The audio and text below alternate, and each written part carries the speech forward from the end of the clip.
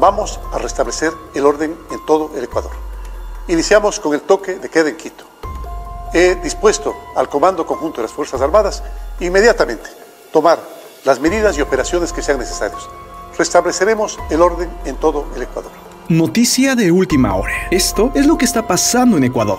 El presidente de Ecuador, Lenín Moreno, acaba de ordenar el toque de queda y la militarización de Quito, junto con sus alrededores, a causa de la violencia y las manifestaciones iniciadas hace ya varios días, contra las reformas económicas pactadas por su gobierno con el FMI, sí, el Fondo Monetario Internacional. La medida empezó a regir este sábado 12 de octubre, y con esto se busca encontrar la calma y la pacificación del lugar. Aún así, la Confederación de Nacionalidades Indígenas de Ecuador, llamada simplemente CONAIE, la cual es impulsora de las protestas que han sacudido al país en los últimos días, contra los planes de austeridad del gobierno de Lenin Moreno. Han aceptado la oferta de diálogo para poner así fin al conflicto, siempre y cuando estas conversaciones estén orientadas solo a la derogación o revisión de las medidas. Es decir, si habrá diálogo siempre y cuando echen abajo estas reformas. Tras esto, el presidente informó que está dispuesto a revisar el decreto, que fue el que desató la furia opositora. Ahora bien, el origen de las protestas es la reforma económica anunciada por Moreno el pasado primero de octubre, y es que su gobierno pactó que se hacían las medidas que le pedía el Fondo Monetario Internacional.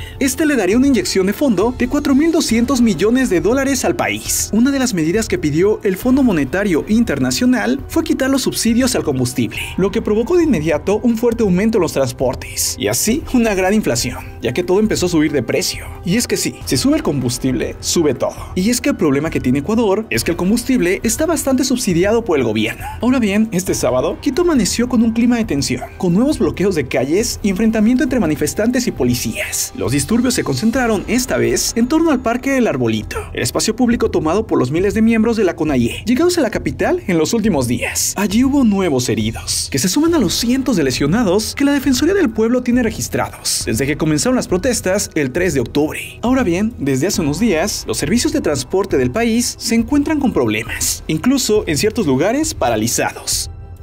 El toque de queda y la militarización se dio porque realmente este sábado la situación se volvió crítica. Incluso un grupo de manifestantes intentó entrar a la sede de la Contraloría. El sitio fue atacado con bombas incendiarias y poco después un grupo de hombres, la mayoría con la cara cubierta o con cascos, ingresó para robar y destruir documentos que investigaban a los responsables de los delitos cometidos en las marchas. Actualmente todo Ecuador vive una gran crisis. Incluso la Asociación Nacional de Fabricantes advirtió el día de ayer que la situación tan problemática ha afectado a la seguridad alimentaria del país. Ahora bien, se ha acusado al expresidente Rafael Correa y al presidente actual de Venezuela, Nicolás Maduro, de estar detrás de los manifestantes, sobre todo los hechos violentos y delictivos. Actualmente, las manifestaciones se han extendido por más de 10 días y han dejado un saldo de 6 muertos, 937 personas heridas y 1.121 detenidos. Eso según información proporcionada por la Defensoría del Pueblo. Es así que actualmente Ecuador vive una situación de crisis, lo que empezó con una simple reforma para lograr un apoyo económico